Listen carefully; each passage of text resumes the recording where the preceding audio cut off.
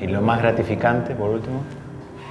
Los logros, la gente que conoces, las experiencias eh, que, compartís, eso es, muy gratificante. Pero bueno, yo creo que la energía de ser joven les permite tener todo, este, la cabeza y el tiempo y ayudarnos a los más grandes a que, como dicen ellos, romper, los, romper cocos.